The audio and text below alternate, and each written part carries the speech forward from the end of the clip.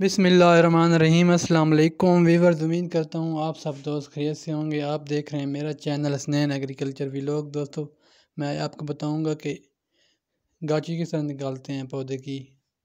जब हम बाग लगाते हैं तो उसके ऊपर गाची किस तरह मजबूती से निकालनी है और कैसे निकालनी है, ये आपके सामने हम निकाल रहे हैं। देख लें वीडियो में ज़रा। ठीक है? गाची जो निकालनी है उसकी मिट्टी साइड से जड़ें भी नीचे से नहीं काटनी ज़्यादा और मज़बूत हो। ठीक है ये आपके सामने निकाल रहे हैं, ज़रा वीडियो देख लें आप लोग।